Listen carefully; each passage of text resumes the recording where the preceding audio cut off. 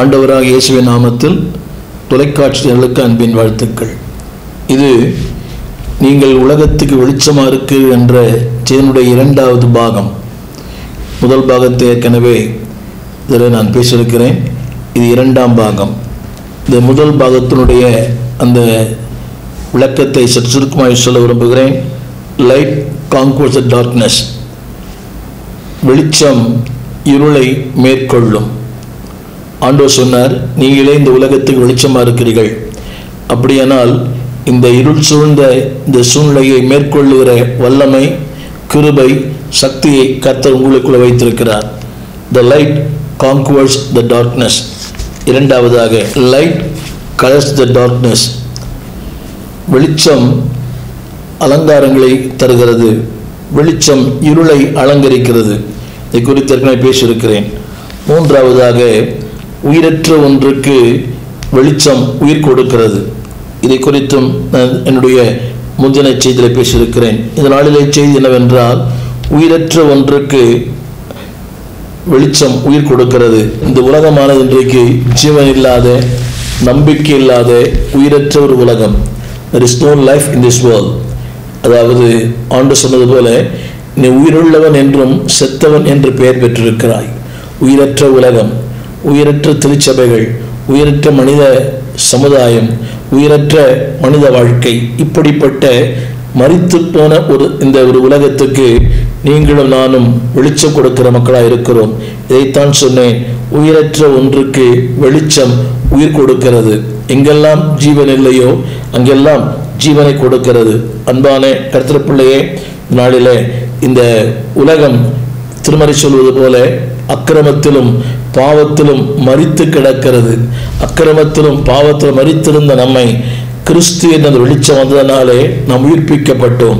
நாளிலே நீங்களும் நானும் மறித்து போன உலகத்துக்கு கர்த்தர் வெளிச்சமாக வைத்திருக்கிறார். அதாவது மீட்கப்பட்ட தேவனுடைய பிள்ளைகள் தான் இந்த உலகத்துக்கு அனல் மூட்ட முடியும். இன்றைக்கு ஏராளமான மக்கள் அனலுமின்றி குளிரமின்றி வாழ்கிறார்கள். ஆனால் தேவன் சொல்கிறார் நீங்களே உலகத்துக்கு வெளிச்சம். அவனுடைய கருத்து என்னவென்றால் அன்பானவர்களே உயிரற்ற அனலும் குளிரும் இல்லாத இந்த உலகத்துக்கு ஆண்டவர் உங்களை உங்களையும் என்னையும் வெளிச்சமாய் வைத்திருக்கிறார். இதை குறித்த ஏராளமான சத்தியங்களை ஆண்டவர் திருமறையிலே பேசியிருக்கிறார். மார்க்கு சுவிசேஷம் பதினாறாம் அதிகாரம் பதினைந்தாம் வசனம் மார்க்கு பதினாறு பதினைந்து. எனவேதான் ஆண்டவர் சொன்னார் நீங்கள் உலகெங்கும் போய் சர்வ சர்வ சிருஷ்டிக்கும் சுவிசேஷத்தை பிரசங்கியுங்கள். உலகெங்கும் போய் சர்வ சிருஷ்டிக்கும் சுவிசேஷத்தை பிரசங்கியுங்கள். என்றால் உலகெங்கும் அன்பானவர்களே இன்றைக்கு கோடிக்கணக்கான பேர் அந்த உயிரற்ற வாழ்க்கை. எனவேதான் சொன்னார் நீங்கள் உலகெங்கும் போய். அப்படியானால் உங்கள் வெளிச்சம் இந்த உலகத்திற்குள்ளே அடுத்த ஒரு வார்த்தை சர்வ சிருஷ்டிக்கும் சுவிசேஷத்தை பிரசையுங்கள் அந்த சுவிசேஷம் என்பது என்ன? அதாவது நானே ஒளியா இருக்கிறேன் நானே வெளிச்சம். அந்த வெளிச்சத்தை ஆண்டவர் உங்கள் கரங்களிலும் என் கரங்களிலும் கொடுத்திருக்கிறார். எனவேதான் சொன்னேன் உயிரற்ற ஒன்றுக்கு வெளிச்சம் தருவது சுவிசேஷம். உயிரற்ற ஒன்றுக்கு வெளிச்சம் தருவது அன்பவளே உங்கள் வெளிச்சமும் என் வெளிச்சமும். உயிரற்ற ஒன்றுக்கு ஜீவன் கொடுப்பது வெளிச்சம். அப்படியானால் இந்த உலகத்திற்கு ஜீவனை கொடுக்கிற ஒரு மாபெரும் கிருபையை மாபெரும் சக்தியை கர்த்தர் உங்களுக்குள்ள வைத்திருக்கிறார். எனவேதான் அப்போ நடவடிக்கை புஸ்தகம் முதலாம் அதிகாரம் எட்டாவசனம் சொல்கிறது பரிசுத்த ஆவி உங்கள் ஆவியானவர் உங்களிடத்தில் வரும்போது நீங்கள் பலனடைந்து பூமி உலகமெங்கும் பூமியின் கடைசி பரியந்தம் யூதயா சமாரியா கப்பதோக்கியா இந்த உலகத்தினுடைய நாலு திசைகளிலும் எனக்கு சாட்சிகளாக இருப்பீர்கள் எப்ப தெரியுமா? அந்த வெளிச்சம் அல்லாவிட்டால் பரிசுத்த ஆவியானவர் இடத்துல வரும்போது அந்த வெளிச்சம் என்றைக்கு உங்களுக்குள்ள வருகிறதோ அன்றைக்கு நீங்கள் அவங்க சாட்சியாய் வாழ முடியும். இன்றைக்கு ஏன் சாட்சியாய் வாழ முடியவில்லை? தெர் இஸ் நோ என்லைட்மெண்ட் அன்பாலே ஒரு வெளிச்சமில்லை என்னை குறித்து என்னுடைய எதிர்காலத்தை குறித்து என் வாழ்க்கை குறித்த வெளிச்சமில்லை. ஆண்டவர் சொன்னார் நீங்களே இந்த உலகத்துக்கு வெளிச்சமாய் இருக்கிறீர்கள். அன்பான தேவ பிள்ளையே உலகத்திற்கு வெளிச்சம் இதைத்தான் யோ அந்த அப்போ சில ஒன்று எட்டில் நீங்கள் உலக ஆரம்பத்தில் சொன்னார் கற்பசுத்தாவியானவர் வரும்போது நீங்கள் பூமி எங்கும் உலகமெங்கும் எனக்கு சாட்சியா இருப்பீர்கள் இதை குறித்த ஒரு சத்தியத்தை லூக்காஸ் விசேஷம் பதினாறாம் அதிகாரத்தில் நான் வாசிக்கலாம். லூக்காஸ் விசேஷம் பதினாறாம் அதிகாரம் பத்தொன்பதாம் வசனம். அங்கே இரண்டு வித்தியாசமான மனிதர்களை குறித்து பேசப்பட்டிருக்கிறது. ஒருவன் ஐஸ்வர்யவான் இன்னொருவன் தரித்திரன். அன்பானுள்ளே அந்த ஐஸ்வர்யவான் பூமியிலே வாழ்ந்த நாளெல்லாம் வெளிச்சம் இல்லாமல் வாழ்ந்தான். ஆனால் அந்த தரித்திரன் ஒரு வெளிச்சத்தோடு வாழ்ந்தான். என்ன வெளிச்சம் தெரியுமா? தேவன். அன்பானுடைய இந்த தரித்திரன் தான் ஐஸ்வர்யவானுக்கு வெளிச்சத்தை தந்தான். வாசிக்கிறேன் கேளுங்கள். அடுத்த வார்த்தை அன்பார்களே இருபத்தி மூன்றாம் வசனம். பாதாளத்திலே அவர் வேதனைப்படுகிற போது தன் கண்களை ஏறெடுத்து தூரத்தில் ஆபிரகாமையும் அவன் மடியிலே லாசருவையும் கண்டான். அந்த வார்த்தை கவனிங்கள் ஆபிரகாமையும் அவன் மடியிலே லாசரவையும் கண்டான். அன்பான தேவ பிள்ளைகளே உங்கள் வெளிச்சம் அன்பானவர்களே எந்த இடத்திலையும் இட் கேன் பி பெனட்ரேட் அது ஊடுருவி செல்லும். எந்த மனிதனையும் மாற்றக்கூடிய வல்லமை உங்களுக்கு உண்டு. அந்த வார்த்தை சொல்லுகிறேன் ஆபிரகாமையும் அவர் மடியிலே லாசருவையும் கண்டான். அன்பு தேவ பிள்ளைகளே இந்த உலகத்துக்கு உயிரற்ற உலகத்துக்கு உயிர் கொடுக்கிறவர்கள் நீங்கள் தான் எனவேதான் இந்த திருமறையிலே அடிக்கடி இந்த வார்த்தையை ஆண்டவர் பயன்படுத்துகிறார். லூகாஸ் விசேஷம் எட்டாம் அதிகாரம் பதினாறாம் வசனத்திலையும் திரும்ப இந்த வார்த்தையை தேவன் பயன்படுத்துகிறார். அவர் சொல்லுகிறார் ஒருவனும் விளக்கை கொளுத்தி அதை பாத்திரத்தினாலே மூடவும் மாட்டான். வீட்டிலின் கீழே வைக்க கட்டிலின் கீழே வைக்கவும் மாட்டான். உள்ளே பிரவேசிக்கிறவர்கள் அவர் வெளிச்சத்தை காணும்படி அது விளக்கு தண்டின் மேல் வைப்பான். இங்கே நான் ஒவ்வொன்றாய் சொல்ல விரும்புகிறேன் அன்பு தெய்வ பிள்ளைகளே விளக்கை கொளுத்தி ஒருவரும் ஒரு பாத்திரத்தினாலே மூடவும் மாட்டான். கட்டிலின் கீழே வைக்கவும் மாட்டான். உள்ளே பிரவேசிக்கிறவள் அந்த வெளிச்சத்தை காணும்படி. நாளில் என்னை கேட்டுக்கொண்டிருக்கிற அன்பான தெய்வ பிள்ளையே உங்கள் வீட்டுக்கு வருகிறவர்கள் உங்கள் வெளிச்சத்தை பார்க்கிறார்களா? உங்களுடைய வாழ்க்கையில் வருகிறவள் உங்கள் வெளிச்சத்தை உங்களுடைய வாழ்க்கையை பார்க்கிறார்களா? ஆண்டவர் சொல்லுகிறார் உங்கள் வீட்டிலே வருகிறவர்கள் உங்கள் வெளிச்சத்தை காணும்படி. அப்படியானால் உங்களுக்குள் இருக்கிற வெளிச்சம் இந்த உலகம் பார்க்க வேண்டும் என்பதற்காகவே தேவன் உங்களையும் என்னையும் பூமியிலே வைத்திருக்கிறார். எனவேதான் சொன்னார் நான் சொன்னேன் வெளிச்சம் உயிரற்ற ஒன்றுக்கு உயிர் கொடுக்கிறது. அன்பார்களே உங்கள் வீட்டிலே பிரவேசிக்கிறவர்கள் அந்த வசனம் இப்படி சொல்கிறது அந்த வீட்டில் பிரவேசிக்கிறவர்கள் அதன் வெளிச்சத்தை காணும்படி. தொடர்ந்து நான் பேச விரும்புகிற அடுத்த குறிப்பு என்னவென்றால் வெளிச்சமானது மந்த நிலையிலிருந்து ஒரு தெளிவை தருகிறது. ஆரம்பத்தில் சொன்னேன் உயிரற்ற ஒரு பொருளுக்கு உயிர் கொடுக்கிறது. இரண்டாவது மந்த நிலையில் இருக்கிற ஒன்றை ஆண்டவர் தெளிவிக்கிறது. சிலங்களை பாருங்களேன் இந்த வானம் மந்தாரமாய் இருக்கும். திடீரென்று ஒரு சூரிய வெளிச்சம் வரும்போது அந்த மந்தாரம் நீங்கி போகும். அது இருள் பயங்கர இருள் இருக்கும். ஒரு குளிரின் தன்மை இருக்கும். ஆனால் சூரிய வெளிச்சம் வரும்போது அந்த குளிர் உடனடியாக வெப்பமாய் மாறிவிடுகிறது. மேல்நாடுகளிலே அடிக்கடி நான் பார்த்திருக்கிறேன். பயங்கர குளிரா இருக்கும் ஏன்? நம்முடைய தமிழகத்திலும் இருளும் மப்பும் மந்தாரமா இருக்கும் ஆனால் ஒரு வெளிச்சம் வரும்போது அந்த இருளும் மப்பும் மந்தாரமாய் நீங்கும். எனவே தான் சொல்ல விரும்புகிறேன். வெளிச்சம் மந்த நிலையிலிருந்து ஒரு தெளிவை தருகிறது என கேட்டுக்கொண்டிருக்கிறேன். அன்பான தேவனுடைய பிள்ளைகளே இன்றைக்கு மனிதர்கள் திருச்சபை குடும்பம் ஒரு மந்த நிலை இருக்கிற மந்த நிலை இருப்பதை நீங்கள் ஒத்துக்கொள்ள நினைக்கிறேன். காலகாலமாய் சபைக்கு போகிறார்கள். காலகாலமாய் கத்தரை ஆராதிக்கிறார்கள். ஆனால் இன்னும் அந்த மந்த நிலை ஜெபிப்பதில்லை ஆராதிப்பதில்லை ஆலயத்திற்கு ஒழுங்காய் வருவதில்லை ஆண்டவரை அதிகமாய் நேசிப்பதில்லை. ஒரு மந்த நிலை எனவேதான் ஆண்டவர் சொன்னார் நீ அனலும் இல்லை குளிரும் இல்லை இன்றைக்கு அநேகருடைய மக்களுடைய வாழ்க்கையின் தரம் எப்படித்தான்?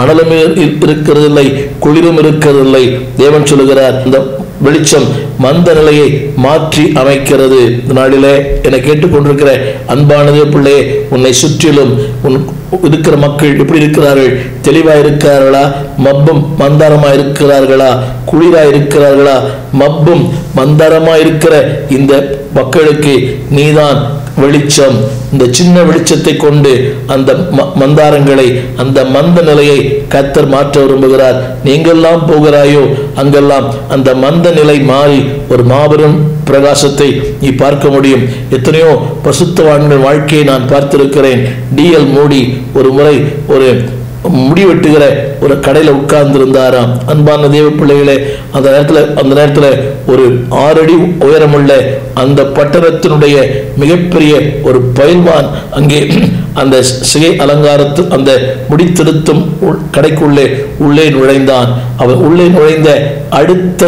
கணமே அவனை பார்த்து அந்த பட்டணமே நடுங்கும். அவனை பார்த்து எல்லாம் நடுங்குவார்கள். ஆனால் அவன் டியில் மூடி அவர்களை பார்த்து பயந்து நடுங்கி அழ ஆரம்பித்தானாம்.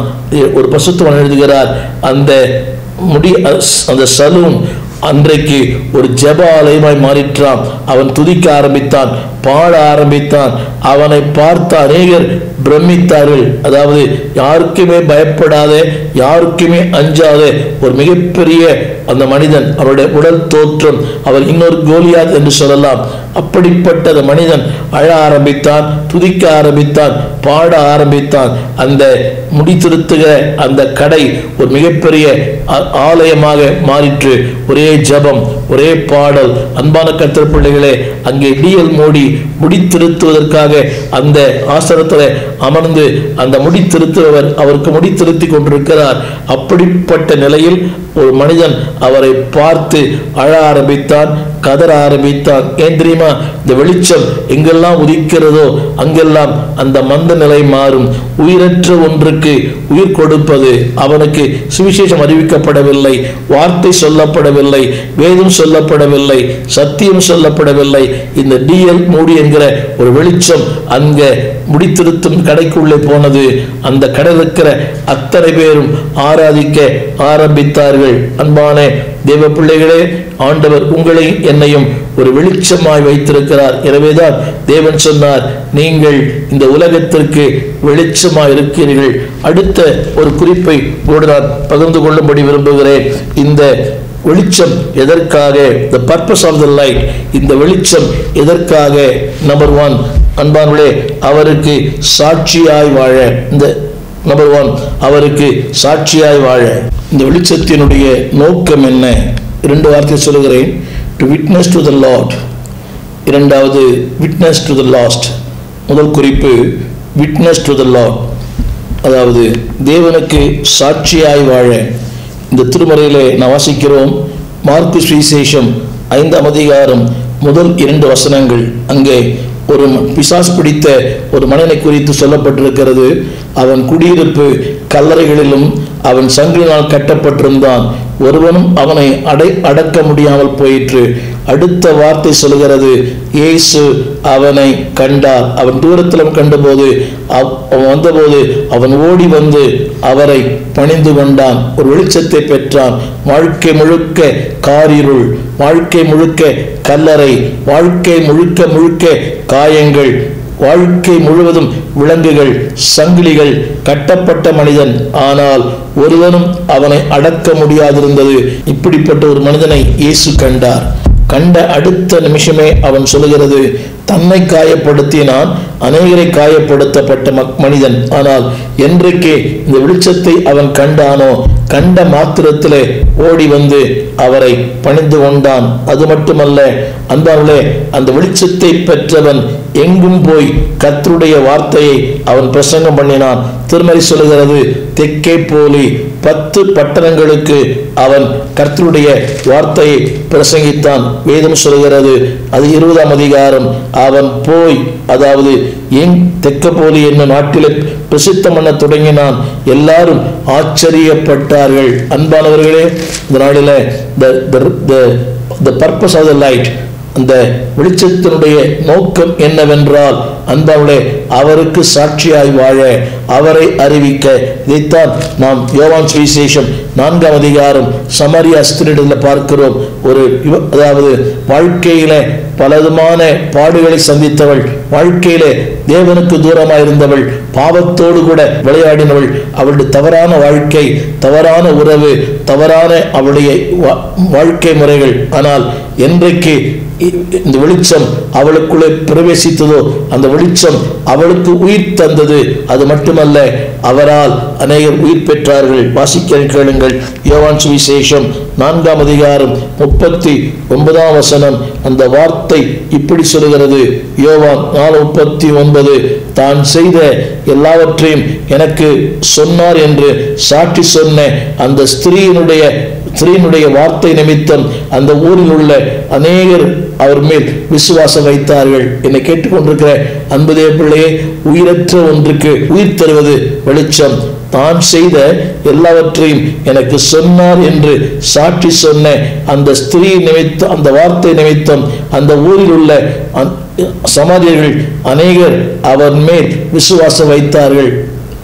A witness to the lord witness to the lost ஆண்டவருக்கு சாட்சி இழந்து போன மக்களுக்கு சாட்சி இதைத்தான் அன்பான கர்த்தர் பிள்ளைகளே ஆண்டவருக்கு சாட்சியாய் வாழ முடியும். க- கலாத்தியர் ஐந்தாம் அதிகாரம் இருபத்தி ரெண்டாம் வசனம். எல்லாரும் தெரிந்த ஒரு வார்த்தை ஆவியின் கனியோ அன்பு. அதுக்கு முந்தின வசனம் இப்படி சொல்கிறது மாமிசத்தின் கிரியைகள் எல்லாம் ஆனால் என்றைக்கு அந்த மாமிசத்தினுடைய கீழிலிருந்து வெளியே வரும்போது அந்த வெளிச்சத்துக்குள்ளே வரும்போது இருளிலிருந்து வெளியே வரும்போது என்ன நடக்கிறது வாசித்து பாருங்கள். இருபத்தி ரெண்டு ஆவியின் கனியோ அன்பு சமாதானம் நீடிய சாந்தம் பொறுமை தயவு நற்குணம் விசுவாசம் இந்த வார்த்தை நான் சொல்லுகிறேன். அதாவது அதுக்கு முந்தைய வசனத்தில் இருக்கிற பத்தொன்பதாம் வசனம் அது மாம்சத்தின் கிரியைகள் பெச்சாரம் வேசித்தனம் களவு காம விகாரம் ஆனால் என்றைக்கு அந்த இருளிலிருந்து வெளியே வருகிறார் வெளியே வருகிறோமோ அந்த வெளிச்சம் எதை தருகிறது சொன்னால் ஆவியின் கனிகளை தருகிறது. நம்பர் ஒன் இந்த நாடில் the purpose of the light to be a witness to the lord number two the purpose of the light is to witness to the lost இழந்து போன கோடிக்கணக்கான மக்கள் நம்முடைய தேசத்திலே இன்றும் வாழ்கிறார்கள். அன்பானவர்களே வலது கைக்கும் இடது கைக்கும் வித்தியாசம் தெரியாத கோடிக்கணக்கான ஜனங்கள். கலாத்தியர் புஸ்தகம் இரண்டாம் அதிகாரம் இருபதாம் வசனம் கலாத்தியர் ரெண்டு இருபது இப்படி சொல்லுகிறது. அன்பான கத்திர பிள்ளைகளே டு த லாஸ்ட் எழுந்து போன மக்கள் ஏராளம். அந்த வசனம் சொல்கிறது நான் என்னில் அன்பு கூர்ந்து எனக்காக தம்மையே தந்த குமாரனை பற்றும் விசுவாசத்தினாலே பிழைத்திருக்கிறேன். அதனுடைய இன்னொரு கருத்து என்னவென்றால் அன்பானவர்களே அதனுடைய சத்தியம் என்னவென்றால் ஆண்டவருக்கு சாட்சி இழந்து போன மக்களுக்கு எத்தனையோ பேர் இன்றைக்கு அன்பார்களே அதாவது மாம்சத்தில் பிழைத்திருக்கிறார்கள் ஆவியிலே மறித்திருக்கிறார்கள் அப்படி மறித்து போன மக்களுக்கு உங்களையும் என்னையும் கொண்டு தேவன் ஒரு வெளிச்சம் தர விரும்புகிறார். இதைத்தான் திருமறை அடிக்கடி சொல்லுகிறது. இபேசன் புஸ்தகம் இரண்டாம் அதிகாரம் முதல் வசனம் அக்கிரமங்களினாலும் பாவங்களினாலும் மறித்த உங்களை. இந்த நாளிலே அன்பாண்டே the purpose of the light வெளிச்சத்தின் நோக்கம் என்னவென்றால் number one to witness to the lord தேவனுக்கு சாட்சியாக அன்பாங்களே ரெண்டாவது விட்னஸ் டு த லாஸ்ட் நாளிலே இழந்து போன கொடிக்கணக்கான மக்கள் வலது கைக்கும் இடது கைக்கும் வித்தியாசம் தெரியாத கொடிக்கணக்கான மக்கள் நம்முடைய பரந்த தேசத்தில் வாழ்கிறார்கள் அவர்களுக்கு வெளிச்சம் தர அவர்களுக்கு நம்பிக்கை தர அவர்களுக்கு வாழ்வை தர உங்களையும் என்னையும் தேவன் தெரிந்து கொண்டார் ஒரு சின்ன கேள்வி அன்பான தேவ பிள்ளையே உங்களுடைய சாட்சி என்ன அந்த சமாரியா பெண் அந்த லேகியோன் மனிதன் அன்பாவளே தான் பெற்ற வெளிச்சத்தை உடனே அடுத்தவளுக்கு அறிவித்தார். உங்கள் சாட்சி என்ன? இயேசுவுக்காக சாட்சியாய் இருக்கிறீர்களா? அன்பார்களே உங்கள் மூலமாக எத்தனை பேர் இயேசுவை அறிந்திருக்கிறார்கள்? அந்த லேகியோன் நான் படித்தோமே தெக்கப்போலி என்ற ஊரிலே அவன் பத்து பட்டணங்களிலே பிரசங்கம் பண்ணினான். அநேகர் இயேசுவை விசுவாசித்தார்கள். ஒரு சமாரியா பெண் கர்த்தரை குறித்து பேசினாள் அநேகர் இயேசுவை விசுவாசித்தார்கள். இதனால நாளிலே ஒரு சின்ன கேள்வி ஆண்டவர் உனக்கு கொடுத்திருக்கிற இந்த சின்ன வெளிச்சத்தை வைத்து நீ என்ன செய்கிறாய்? அநேகர் சொல்லாங்க எனக்கு பெரிய வரங்கள் இல்லை பெரிய கிருபைகள் இல்லை பெரிய அபிஷேகம் இல்லை தேவையில்லை உனக்கு இருக்கிற இந்த கொஞ்ச கிருபை கொஞ்ச பலன் கொஞ்ச வெளிச்சம் அன்பாவளே ஒரு பெரிய அதாவது ஒரு பிரபலமான மனிதனாக இருக்க வேண்டாம். உங்களுக்கு இருக்கிற இந்த கொஞ்ச வெளிச்சத்தை பயன்படுத்துங்கள். அன்பான தேவ பிள்ளைகளே இந்த நாளிலே ஆண்டவர் உங்களுக்கும் எனக்கும் கோடிக்கணக்கான மக்களுக்கு இல்லாத இந்த வாய்ப்பை உங்களுக்கு எனக்கு கொடுத்திருக்கிறார். அந்த வாய்ப்பை பயன்படுத்திக் கொள்வோம் அடுத்த குறிப்பு என்னவென்றால் வேர் டு பி டெஸ்டிமனி ஆண்டவருக்கு எப்படிப்பட்ட இடங்களில் வெளிச்சம் தர முடியும்? நம்பர் ஒன் நன்றாக கவனியுங்கள். ஆண்டவருக்கு வெளிச்சம் தரக்கூடிய முதல் இடம் அந்த வசனத்தை திருமுறை வாசிக்கிறேன். மத்திய சுவிசேஷம் ஐந்தாம் அதிகாரம் அந்த ஆறாம் வசனத்தில் பதினாறாம் வசனம் ஐந்து பதினாறு அங்கே சொல்லப்பட்ட வார்த்தை மலையின் மேல் இருக்கிற பட்டணம் மறைந்திருக்க மாட்டாது. The place where God wants to be அன்பானவர்களே தேவன் உங்களை எங்கே வைத்திருக்கார் சொன்னால் ஒரு மலையின் மேல். நான் சொல்லுகிற அந்த கருத்து என்னவென்றால் அன்பானவர்களே தாழ்மையில் இருந்தீங்க எளிமையில் இருந்தீங்க ஒண்ணுமில்லாம இருந்தீங்க கத்தர் உங்களை உயர்த்து வைத்திருக்கிறார். மலையின் மேல் இருக்கிற அந்த பட்டணம் மறைந்திருக்க மாட்டாது. அவனுடைய சத்தியம் வேறு. நாட்களிலே மலை மலைகளிலே மலைகள் மேலே பட்டணங்கள் இருந்தது. அன்பானவர்களே பொதுவாக மலைகள் எல்லாமே அதாவது பாறைகள் இல்லாவிட்டால் சுண்ணாம்பு கற்களால் தான் அந்த வீடுகள் கட்டப்பட்டது. மலை மேல் இருக்கிற அந்த பட்டணம் அதிகமாக சுண்ணாம்பு கற்களாலே இன்னைக்கு இருக்கிற சிமெண்ட் இல்லை சுண்ணாம்பும் அதாவது சாந்தும் சே சேர்ந்துதான் அங்கே பட்டணங்களை கட்டினார்கள். நீங்கள் ஒன்றை கவனிக்க வேண்டும். அந்த பட்டணங்களிலே அன்பான்களே அந்த இருள் இருக்கும்போது அந்த சுண்ணாம்பு இருள் நேரங்களிலே பிரகாசமா இருக்குமா? இப்படித்தான் ஆராய்ச்சி சொல்லுகிறார்கள். அந்த சுண்ணாம்பு இ- அதாவது சூரியன் உதிக்கும் போது அந்த சுண்ணாம்பு பிரகாசமா இருக்குமா? அது மட்டுமல்ல இருளான நேரங்களிலே அந்த சுண்ணாம்பு வெளிச்சம் தருமாம் இருள் இருந்தாலும் அந்த வீடுகள் அங்க இருக்கிற வீடுகள் இருக்கிற அந்த ஜன்னலி ஜன்னலை திறக்கும் போது வீடு இருக்கிற வெளிச்சம் அந்த பட்டணத்தின் மேல் உதிக்கும் என்று ஆராய்ச்சியாளர் சொல்லுகிறார்கள். எப்படியானாலும் நீங்களும் நானும் மலை மேல் இருக்கிற ஒரு பட்டணம். அன்பான தேவப்பிள்ளையே அவருடைய கருத்து என்னவென்றால் அன்பானே அதாவது நீங்கள் எங்கே சாட்சியாக வாழ வேண்டும்? இந்த சொசைட்டி ஒரு சமுதாயத்தில் ஒரு பட்டணத்தில் கத்தர் உங்களை சாட்சியாக வைத்திருக்கிறார். The place of the light அந்த எங்கே வெளிச்சமாக வைக்கிறார் இதை நான் திரையில் பாருங்கள். There's a light of an institution அதாவது ஒரு பட்டணத்தில் உங்களை வெளிச்சமாக வைக்கிறார். ஒரு நிறுவனத்தில் உங்களை வெளிச்சமாக வைக்கிறார். ஒரு சமுதாயத்தில் உங்களை வெளிச்சமாக வைக்கிறார். ஒரு குடும்பத்தில் உங்களை வெளிச்சமாக வைக்கிறார். நீங்கள் இருக்கிற அலுவலகங்களிலே ஒரு வெச்- வைக்கிறார். லைட் ஆஃப் அன் இன்ஸ்டிடியூஷன் ஒரு நிறுவனத்தில் உங்களை வெளிச்சமாக வைக்கிறார். மற்ற எல்லாரும் வித்தியாசமாக இருக்கலாம். பேச்சு வார்த்தை அவருடைய உறவுகள் கொடுக்கல் வாங்கல் everything will be different but you are the light in the institution நீங்கள் பணியாற்றுகிற அந்த நிறுவனம் நீங்கள் இருக்கிற அந்த குடும்பம் நீங்கள் இருக்கிற இந்த தேசம் நீங்கள் இருக்கிற அந்த கிராமத்தில் கர்த்தர் உங்களை வெளிச்சம் வைத்திருக்கிறார் ரெண்டாவது லைட் இன் இண்டிவிஜுவல் லைஃப் தனிப்பட்ட வாழ்க்கையில கர்த்தர் உங்களை வெளிச்சமாய் வைக்க விரும்புகிறார். அன்பான கர்த்தர் பிள்ளைகளே ஒருவேளை நீங்கள் ஒன்றுமில்லாமல் இருக்கலாம். திரும்ப சொல்லுகிறேன். அந்த வசனம் இப்படி சொல்லுகிறது. உங்கள் வீட்டிலே பிரவேசிக்கிறவர்கள் திரும்பமாக உங்கள் வெளிச்சத்தை கண்டு இந்த நாளிலே என்னை கேட்கின்ற அன்பான தேவ பிள்ளையே லைட் ஆஃப் அன் இண்டிவிஜுவல் ஒரு தனிப்பட்ட வாழ்க்கையிலும் நீங்கள் வெளிச்சத்தை கொடுக்கிற மக்களாய் கத்தர் உங்களை மாற்ற விரும்புகிறார். இந்த நாளிலே என் அன்பு தேவ பிள்ளைகளே வெளிச்சத்தினுடைய நோக்கம் வெளிச்சத்தினுடைய ஆசீர்வாதங்கள் எதற்காக அந்த வெளிச்சம் எங்கே வெளிச்சம் தர வேண்டும்? அன்பானவர்களே இந்த உலகத்தில் எப்படிப்பட்ட மக்கள் கோணலும் மாறுபாடுமான மக்கள் ஏன் வெளிச்சம் தந்தார்? அநேகருக்கு சாட்சியாய் வாழ திரும்ப சொல்லுகிறேன். உன் வெளிச்சத்தின் மூலமாய் எத்தனை பேரை நீ சபையிலே கொண்டு வந்திருக்கிறாய்? உன் வெளிச்சத்தின் மூலமாக எத்தனை பேரை கிறிஸ்துவுக்கு வழிநடத்திருக்கிறாய் வெளிச்சத்து மூலமாக எத்தனை பேர் கிறிஸ்து மையப்படுத்தியிருக்கிறார்கள் சற்று உண்மை சொன்னேனே ஒரு டிஎல் மூடியவர்கள். அன்பானவளே அந்த கடைக்குள்ளே போகும்போது அந்த கடந்த அத்தனை பேரும் தெய்வ பிரசனத்தால் நிரப்பப்பட்டார்களாம். எத்தனை பெரிய சாட்சி. இந்த வெளிச்சம் எங்கெல்லாம் போகிறதோ அங்கெல்லாம். அன்பான தெய்வ பிள்ளைகளே சுடர்விடும் தீபங்களாக சிறிய வெளிச்சம்தான். ஆனால் மிகப்பெரிய மாற்றங்களை கொண்டு வர முடியும். அந்த லேகியோன் சிறிய மனிதன். ஆனால் மிகப்பெரிய மாற்றங்களை கொண்டு வந்தான். சமாரிய பெண் அவள் அதாவது அவளுக்கு அதிகமான ஒரு பெரிய படிப்போ பெரிய பின்னணியோ மிகப்பெரிய பாண்டித்யமோ ஒன்றுமில்லை. ஆனால் அவள் ஒரு சாட்சி நிமித்தம் அந்த சமாரிய அநேகர் இயேசுவிடத்தில் விசுவாசம் வைத்தார்கள். என்னை கேட்டுக்கொண்டிருக்கிற அன்பான தேவனுடைய பிள்ளையே அன்பான சகோதரனே அன்பான சகோதரியே உன் வெளிச்சம் யாருக்காயிலும் பயன்பட்டிருக்கிறதா? ஆழமான சத்தியங்கள் ஆழமான சபை ஆழமான போதகர் ஏராளமான ஊடகங்கள் ஏராளமான இன்றைக்கு செய்திகள் எல்லாம் இருக்கிறது. ஒரு கூட்டத்தோட மிஸ் பண்றது அங்கே கூட்டம் இங்கே கூட்டம். அந்த ஜபம் இந்த ஜபம் நல்லது. ஆனால் உங்கள் வெளிச்சத்தினாலே எத்தனை பேரை நீங்கள் கிறிஸ்துக்குள் வழிநடத்திருக்கிறீர்கள்? Your light should be blessing to the institution.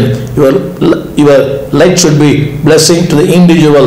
உங்களுடைய வெளிச்சம் நீங்கள் இருக்கிற அந்த பட்டணத்துக்கு ஆ- இருக்க வேண்டும். உங்களுடைய வெளிச்சம் உங்கள் தனிப்பட்ட குடும்பத்துக்கு உங்கள் நிமித்தம் உங்கள் வீடு உங்கள் நிமித்தம் உங்கள் உறவுகள் உங்கள் நிமித்தம் உங்கள் சந்ததி உங்கள் நிமித்தம் உங்களுடைய தலைமுறை வெளிச்சத்துக்குள்ளே வர வேண்டும். தேவன்தாமே அந்த அப்படிப்பட்ட ஒரு ஒரு வெளிச்சத்தை உங்களுக்குள்ளே தந்து வெளிச்சத்தின் பிள்ளைகளாய் உங்களை நடத்துவாராக. ஒளி தரும் தீபங்களாக சுடர் வீசும் தீபங்களாக இந்த இந்த நாம் வீசுவோம். இந்த வெளிச்சம் எங்கெல்லாம் போகிறதோ அங்கெல்லாம் மந்த நிலையை மாற்றும். அந்தாவுடைய வாழ்க்கையின் உண்மை நிலையை சொல்லும். எது சரி எது தவறு என்பதை சுட்டிக்காட்டும். நீங்களும் நானும் இந்த பூமியிலே இயேசுவுக்காக சுடர்விடுவோம் எரிந்து பிரகாசிப்போம்.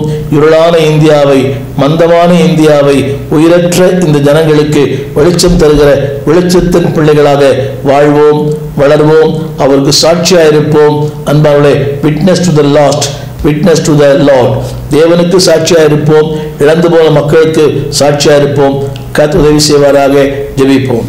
வானத்தையும் பூமியும் படைத்த நல்ல ஆண்டவரே தர்மையான வேலைக்காக நன்றி. இருள் சூழ்ந்த இந்தியாவில் வசிக்கிறோம். இருள் சூழ்ந்த உலகத்தில் வசிக்கிறோம் ஐயா. கோணலும் மாறுபாடுமான சந்ததி. இந்த சந்ததி நடுவிலே குற்றமற்றவர்களாய்.